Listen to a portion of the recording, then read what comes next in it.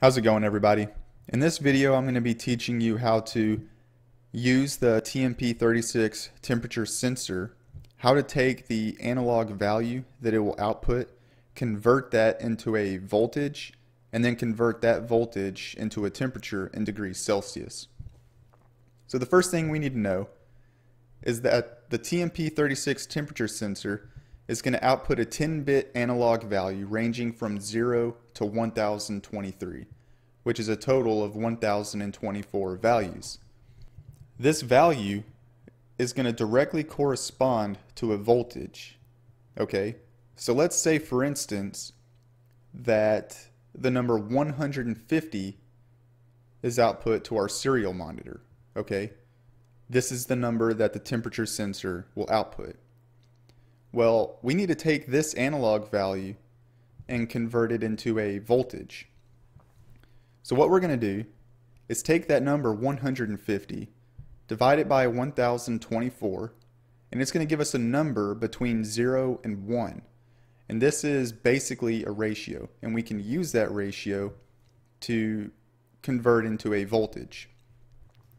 So let's say for instance we're using a uh, 5 volt Arduino board, we're going to take this ratio, which in this case is 0.146, and multiply it by 5 volts. And this number, 0.732, is directly related to 150, which is the analog value from the temperature sensor. So this is basically the voltage that's being output from the temperature sensor in numbers that is easier for us to read, okay? Now the next thing is we have to remember that the TMP36 temperature sensor has a voltage offset of 0.5 volts. The reason for this is so that the temperature sensor can return to you negative temperatures. Okay? So what we need to do is take our value, which was 0.732 volts, and subtract 0.5 volts.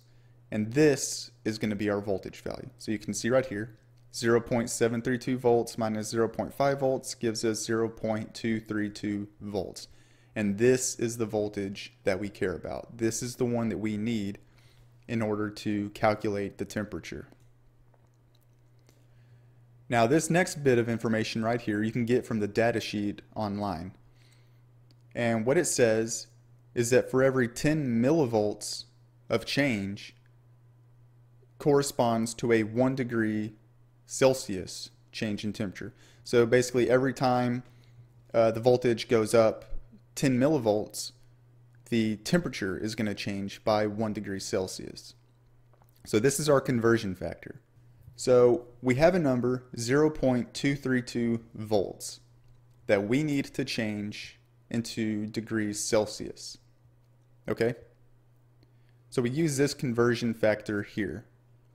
0.23 volts multiplied by this conversion factor. Okay, now just so nobody gets confused, 10 millivolts is the same thing as 0.01 volts. And so what's happening here is these volts are going to get canceled out. Okay? So it's 0.23 volts, excuse me, 0.232 volts divided by 0.01 volts. And when those cancel out, we're going to be left with degrees C. And this number, in this case, turns out to be 23.2 degrees Celsius. Okay, so that's around 70 something degrees Fahrenheit. You can do the conversion if you want to, but it's a it's a little above room temperature.